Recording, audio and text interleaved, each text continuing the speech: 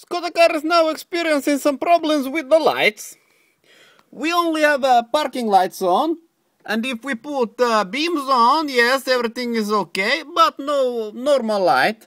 But then we look here closely, we find this one here. Oh, where is it? And now, when I press it, we get the lights to work. So something is uh, clearly wrong here, which is not touching. Where is it? I'm filming the wrong. Okay, here we have it now in the. Now, when I press this, we get uh, lights here.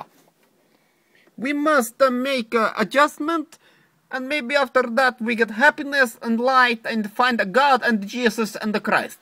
Goodbye.